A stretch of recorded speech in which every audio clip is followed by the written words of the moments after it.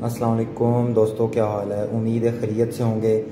आज नई वीडियो में लेके आया हूँ एम सी बी ब्रेकर के बारे में, एक सर्किट ब्रेकर के बारे में। इसके डिटेल में आज रिव्यू करेंगे और मैं आपको बताऊँगा ये कैसे काम करता है। वर्किंग प्रिंसिपल इसका कंप्लीट मैं एक्सप्लेन करूँगा आपके सामने। सबसे पहले तो एम सी बी जो एम सी बी है, इससे बनता क्या है, ये आपको मैं बता दूँ। ये मिनीचर के सर्किट ब्रेकर होता है। और ये कहाँ इस्तेमाल होता है और कैसे इस्तेमाल होता है।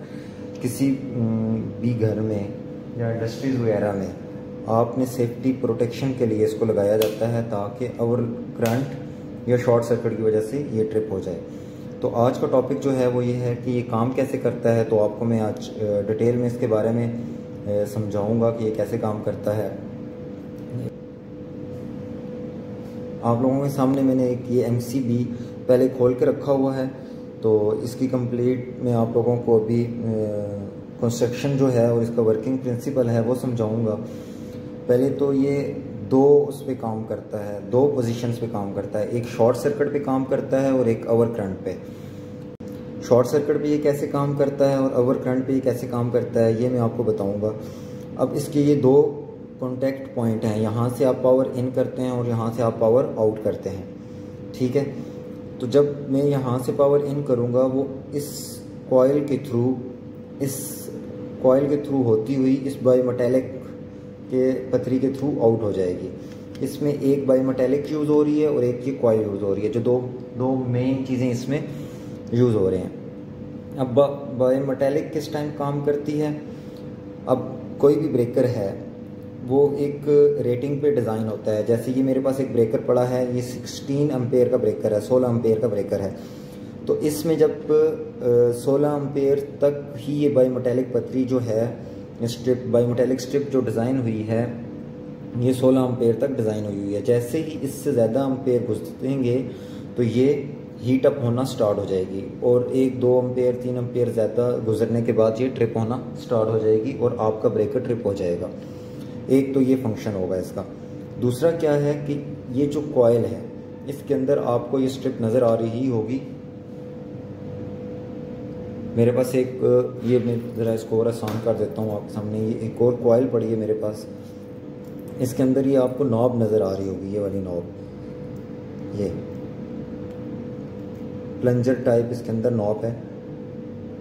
अब क्या होता है कि जिस टाइम शॉर्ट सर्किट करंट गुजरता है। शॉर्ट सर्किट करंट गुजरता है तो उस टाइम इस कॉयल के अंदर मैग्नेटिक फ़ील्ड पैदा होती है। मैग्नेटिक फ़ील्ड पैदा होने की वजह से इसमें मैग्नेट पैदा होता है। मैग्नेट पैदा होने की वजह से ये कॉयल जो है, इसके अंदर ये जो पिन होती है, ये बाहर की तरफ़ पुश करती है ब्रेकर्स को।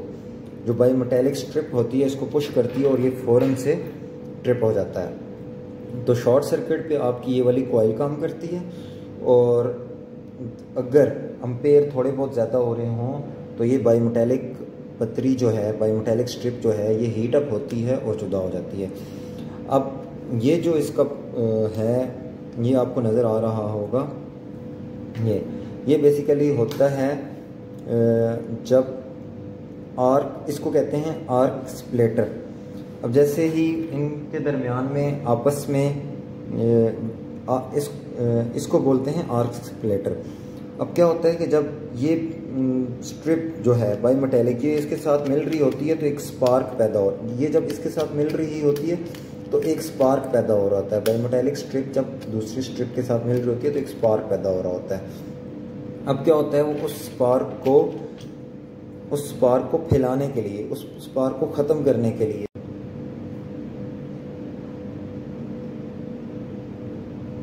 जो स्पार्क पैदा हो रहा होता है, इस स्पार्क को ख़त्म करने के लिए हम लोग इस्तेमाल करते हैं।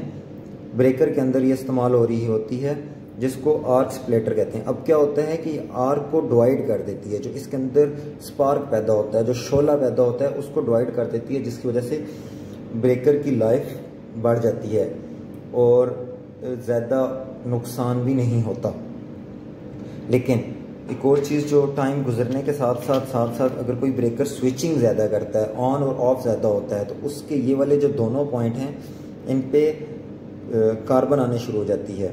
कार्बन असल में होती इंसुलेटर है, जिस वजह से आस्ता आस्ता आपका सर्किट ब्रेकर काम करना छोड़ देता है। तो इसमें ऑप्शन नहीं होती कि आप ब्रेकर ओपन करके इसको क्लीन कर लें। तो अगर आपका ब्रेकर इस तरह का इशू कर रहा हो तो उसको रिप्लेस कर लेना ही बेहतर होता है। ये थी आज की वीडियो जो आ, मैंने अपनी तरफ़ से कम कोशिश की कि आपको समझ आए और इससे रिलेटेड अगर आपका कोई क्वेश्चन हो तो वो कमेंट सेक्शन में आप पूछ सकते हैं। काइंडली चैनल को सब्सक्राइब करें और लाइक करें और शेयर करें। शुक्रिया। अल्लाह हाफिज़। जजाकल्ला